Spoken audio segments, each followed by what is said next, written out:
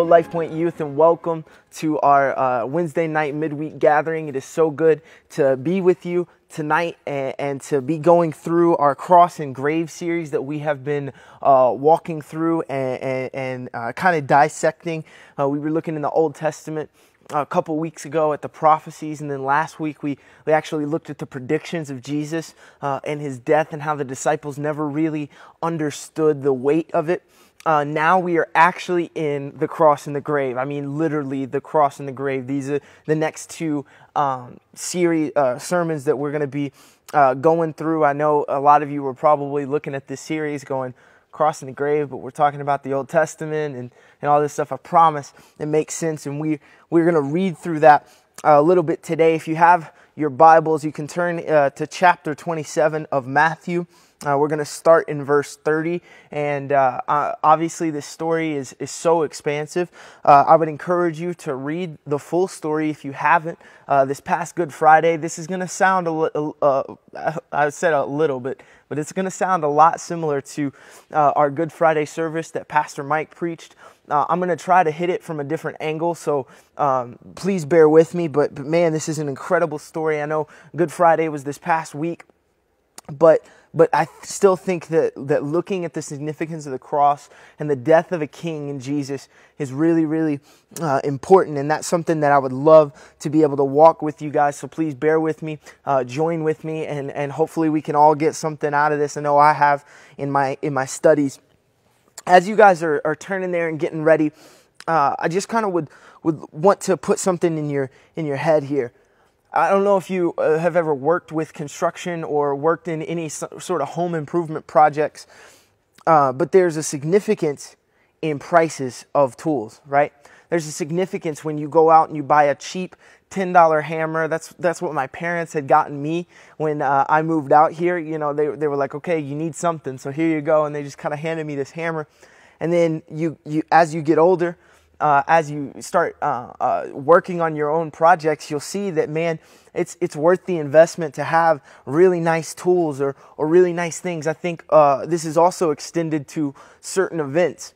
A lot of you guys are either uh, not old enough to remember or you straight up weren't born uh, during 9 11. So this, so this monumental event that changed so much of life, it, it, it, it's not really as impactful to you because of not experiencing it or, or not being able to remember it. You know, uh, it, it's, it's very clear, it's very clear that it's hard to understand the significance of an item or, or the significance of an event without either experiencing it or trying it yourself. You know, it's really easy for me to say I don't need a $300 hammer. I'm good with my $10 hammer until I actually have that $300 hammer in my hand and I'm actually using it. I'm going to be able to tell the difference. You know, unless you are sitting around and really contemplating uh, the events of, of, of, a tragedy or a monumental event like 9 11, unless you actually are there and you're so uh, uh, just intent on understanding the, the feeling and the emotion behind that, you probably are never going to understand it to the level that, that uh, older people are. You know, I think that, that it's the same way with the cross and the same way with the story of Jesus' crucifixion. Until we kind of walk this through uh, with ourselves and we let it process, we're never going to really understand the significance and all of the weight that was there when Jesus was nailed to the cross. So, if you need a little background about where we're at, maybe you you uh, are, are just following, you stumbled across us, man. We're so glad that you're here. And uh, uh, basically, this is the end of the, the book of Matthew. Uh, this is the end of all of the Gospels. This, this crucifixion is, is towards the end of all of them. But, but in Matthew, Jesus is at the end of his life. All the miracles, all the teachings have, have, have now occurred, they've happened. And here we're about to read some of the final moments of Jesus' life and some of his final moments of his ministry.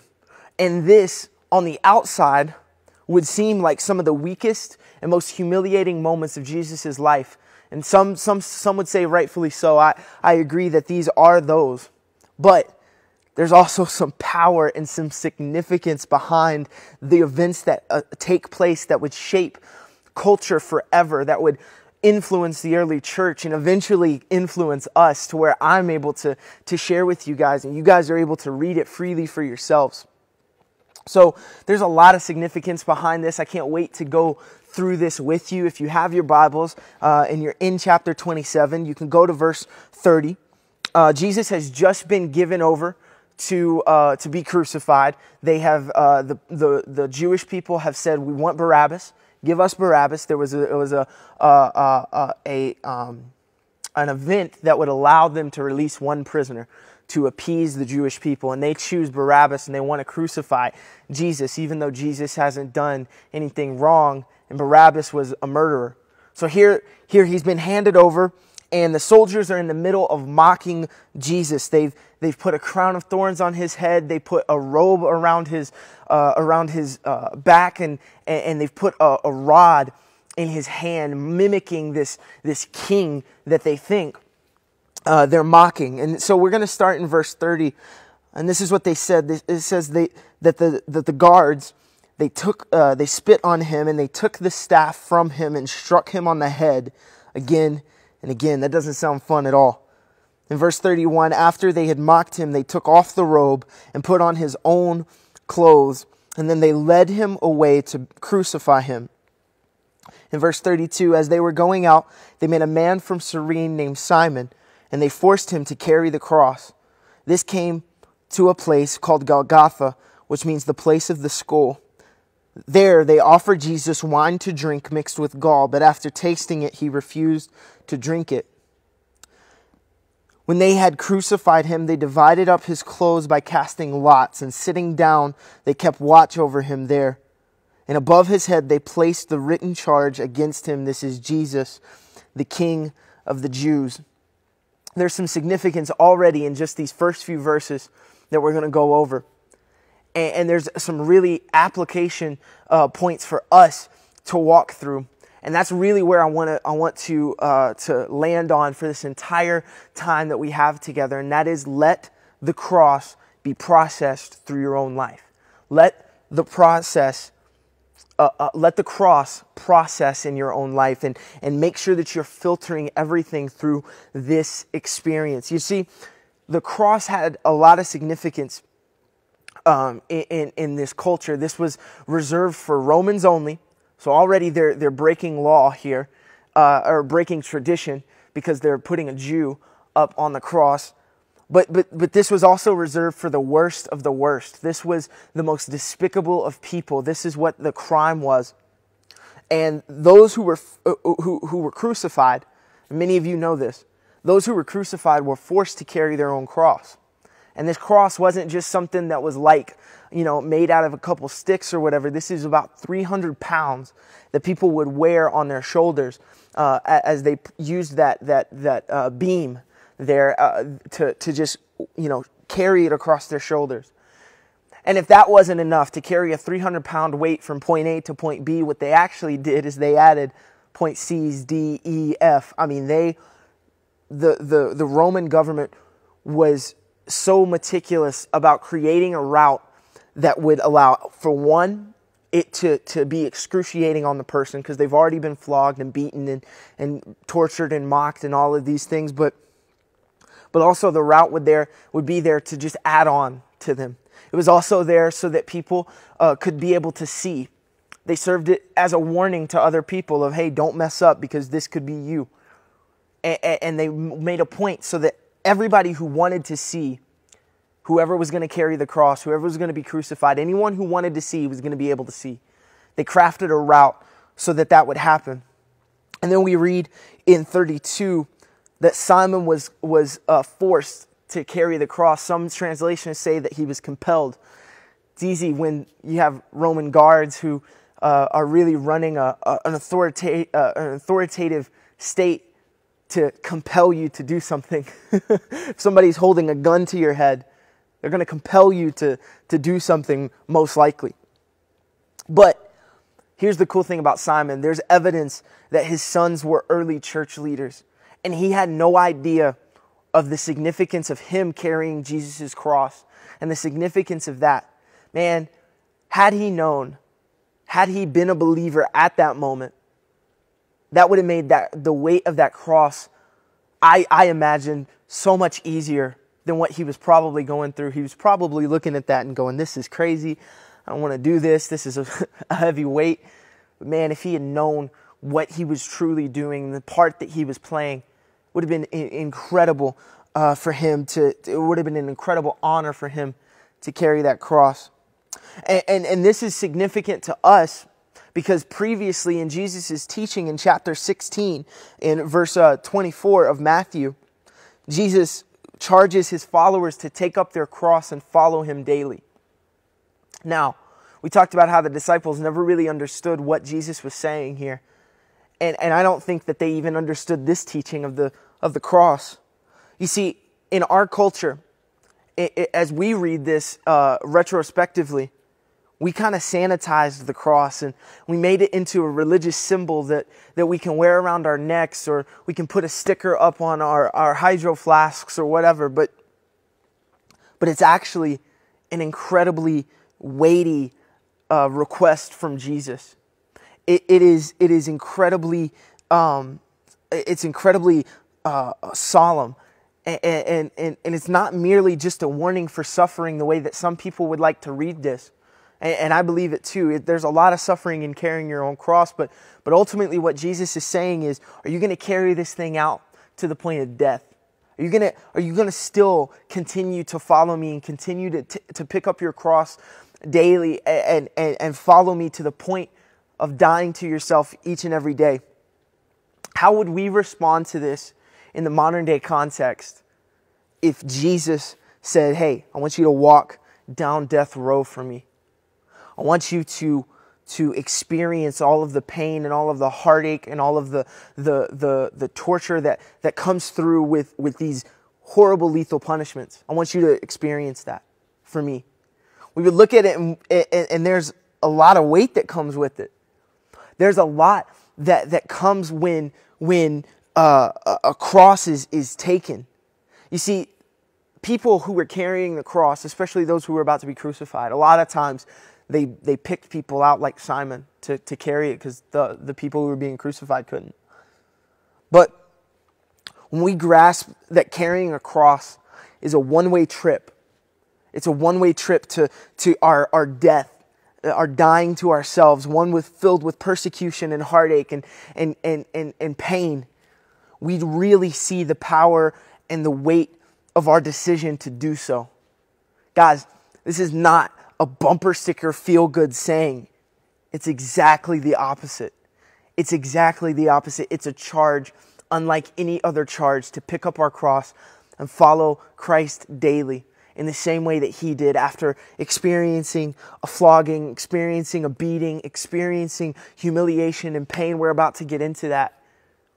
All of this was the experience of taking up the cross. It's not something that we should ever look at and take lightly in our lives. And I would like to just go ahead and keep reading. After they had placed him on the cross and they have the written charge against him, we read in 38 two robbers were crucified with him, one on his right, one on his left.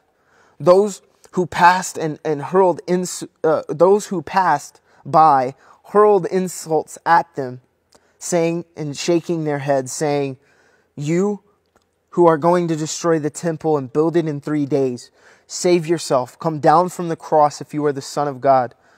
And in the same way, the chief priests and teachers of the law and the elders mocked him. He saved others, they said, but he can't save himself. He's the King of Israel. Let him come down from the cross and we will believe in him. He trusts in God. Let God rescue him. Now, if he wants him, for he said, I am the Son of God. In the same way, the robbers who were crucified with him also heaped insults on him.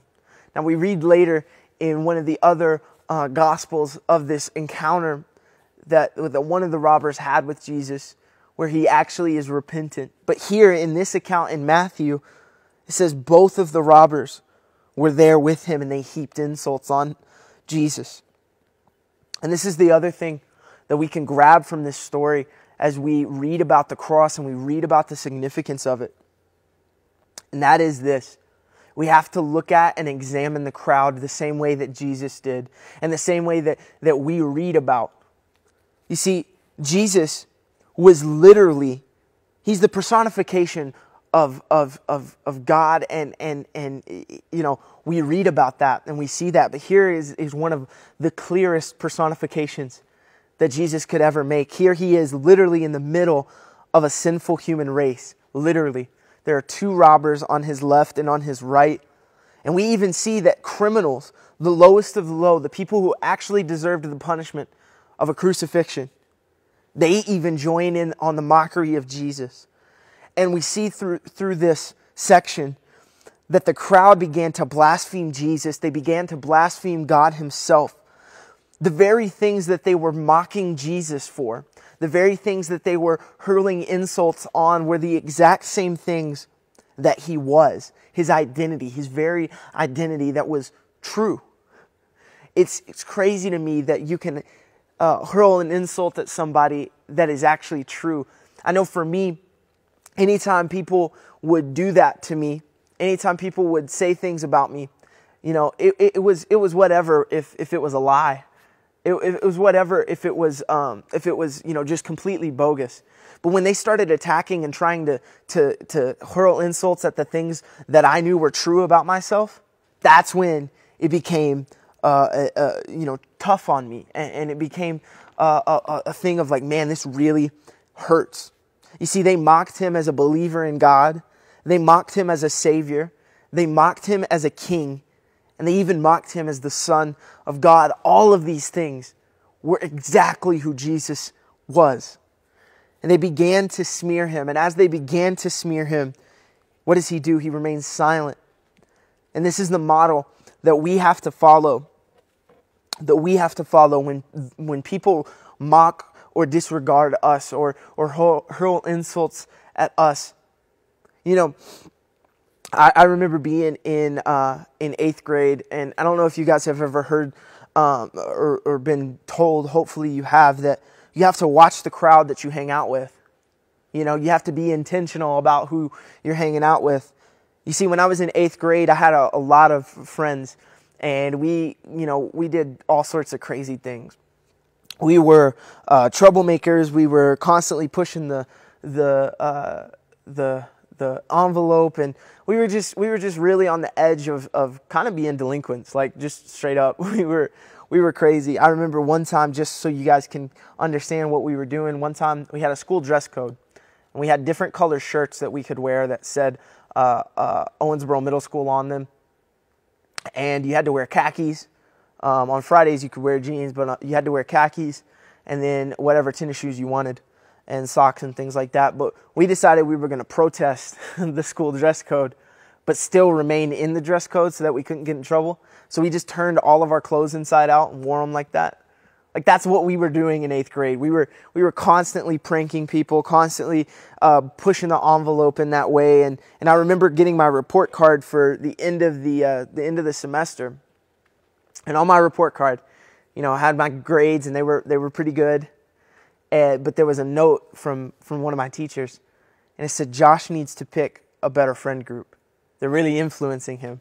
Now he wrote this on all of our friend groups report cards. This person needs to pick better friends. This person needs to pick better friends. And it's very clear that that who you are uh, hanging out with, who you surround your yourself with, defines who you are. But and we have to be intentional about it. And and I don't know if you've ever received that, you know, watch, you know, you are who you hang out with. But Jesus was intentional about how he was seen, who he was hanging out with. It was just completely flipped.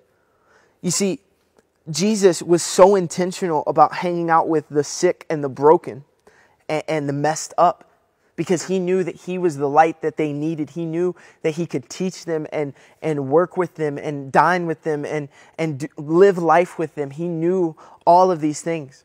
He wasn't affected by them, but he was very intentional in how he chose the people who he hung out, who he hung out with. And even, even there's intentionality behind showing Jesus on the cross in the middle of two sinners. That personification of, of Jesus being in the middle of, of, of, a, of a human, sinful world. So, as you're reading this and as you're as you're diving through this story think of where you find yourself in the crowd. Are you the type who would be mocking him and, and ridiculing him? Are you the type that would that would be upset and distraught? Or would you be the type that holds on to the truth that he was speaking from the beginning because in these moments it's it's really tough to look at and you don't want to miss out on on what is is happening and what is what is uh, what is uh, occurring that that you don't want to you don't want to to to miss out on those moments. You see, we have to be intentional about being aware of the crowds that we're around, but also remaining who we are and remaining found in the truth, remaining found. And, and Jesus models this through his silence. He could have easily he could have easily sent legions of angels down to save him. He could have easily started speaking back to them and, and preaching at them and teaching them and probably could have taught them a thing or two in the midst of it. But he remained silent and he just simply did what had to be done for the people and the crowd that was there. I think that the, the diversity of the crowd is also an important thing to look at. That there were men and women, there were rich and poor, there were Jewish and, and non uh, Jewish and Gentile, there were uh, all sorts of, of different classes, ec- socioeconomic and, and, and genders. Uh, you know, there, was, there were so many d- diverse people in this, in this crowd. And once again, personifying everybody and the significance behind having all of those parties around the cross. And in verse, uh, in, in chapter uh, 27, continuing on in 45, we see this. It says, From the sixth hour until the ninth hour, darkness came over the land. And about the ninth hour, Jesus cried, My God, my God, why have you forsaken me? When some there standing there heard this, they said, He's calling Elijah. Immediately one of them and ran got a sponge and he filled it with wine vinegar and he put it on a stick and offered it to Jesus to drink. The rest said, Now leave him alone. Let's see if Elijah comes to save him. And when he cried out again in a loud voice, he gave up his spirit. And this is, this is an awesome moment here in, in 51. At that moment, the curtain of the temple was torn from into from top to bottom. The earth shook and the rocks split.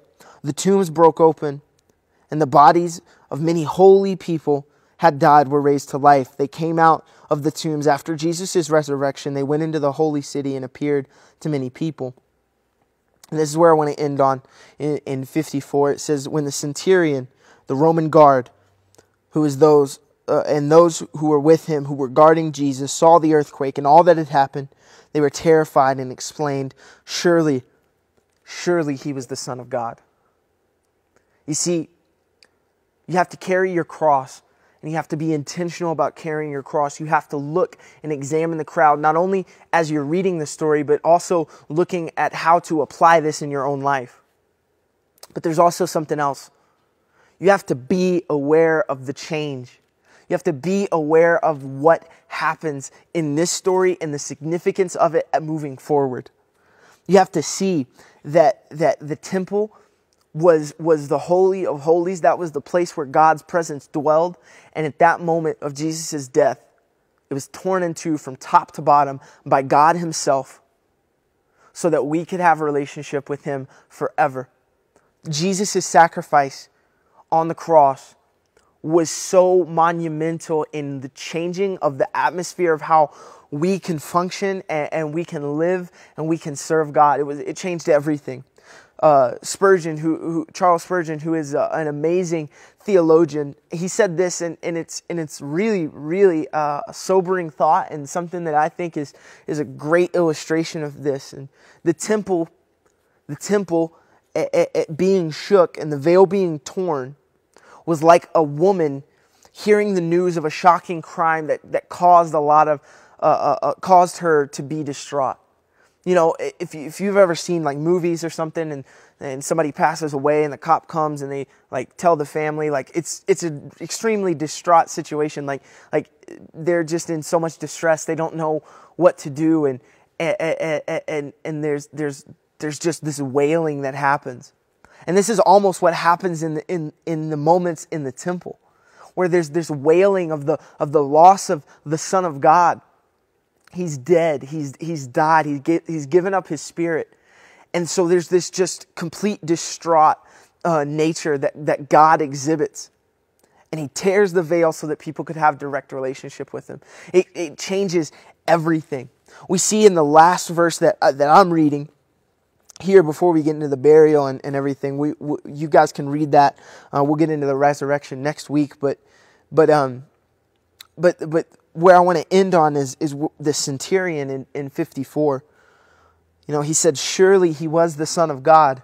You see, this hardened Roman centurion who probably was involved in all sorts of executions, all sorts of crucifixions, he notices the difference in Jesus' death.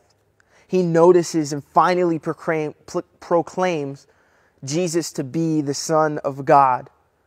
Ironically, the only thing that's wrong with this statement is the past tense that he uses. He says he was the Son of God. He, had he only known what was going to happen three days later, had he only known what was going to happen, he would still be proclaiming Jesus as the, the, the, the Son of God in the current tense.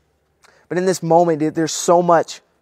There's so much that happens. There's so much weight to the cross. There's so much that we can take and we can we can look at and and and apply to our lives. There's so much in just these few moments, these last few moments of Jesus' life that completely changed the landscape of everything. So, as you guys are moving forward, as you guys are, are reading through this story, as you guys just celebrated Easter and Good Friday, I, I did as well. I want you guys to just be aware of the weight of the cross. Understand that, that, that carrying a cross is, is a task that we're supposed to do, but it's not a, a, pretty one. It's not one that is very enticing. We have to look at the crowds that we're around and the crowds that, that surround us. And we have to look at them and, and, and not be uh, affected by them and, and, and, continue to be intentional about who we are around and, and the picture that it paints. And we have to be aware of the change because if we aren't aware of the change, if they never understood the weight of the veil being torn in that time, then we would have never had the indwelling of the Holy Spirit that we get to experience today. We would have never had the, the early church uh, fathers who, who went across the nations to, to spread the gospel. We would have never had any of this had they not been aware of the change of, of, of the events of the cross. Man, I love you guys, and I, and I thank you so much for spending time with me uh, today. I would like to just close out in prayer, and then we have a, a couple of uh, things to, to get to and, and, and everything like that. But, but I, I, just want you guys to be aware of the weight of the cross, understand the weight of the, of the death of Jesus and, and what that did for us, and, and how we can look at this and, and apply it to our lives. So let's go to the Lord in prayer right now. Father, I thank you so much for each and every person who is watching this, each and every person who is uh, listening to, to the words that, that you have given to me, Lord. I pray that you would have your way in, in each and every one of our lives, Lord. Whatever it is that you want from us, we, we pray that we would receive it. Lord, we pray that we would look at this story, we would be able to see all of the different points of application, and we would be able to, to take those and and just live those out each and every day. Whether it's examining crowds, whether it's looking at the weight of the cross, whether it's uh, being aware of the change, Lord, we want whatever it is that you have. So, Father, I pray for each and every student, each and every family, Lord, all of those who are watching. I pray a blessing over them, and I pray that you would just uh, continue to work in this time. We love you and we thank you. We will never forget the weight of the cross and the and the the the the significance of what you did as you hung there and you died and you gave up your, your life for us. We're, we're so grateful. We want to live our entire lives in honor of that sacrifice. In Jesus' name, everybody said, Amen. Amen. Thank you so much for watching. Thank you so much for spending time with us today.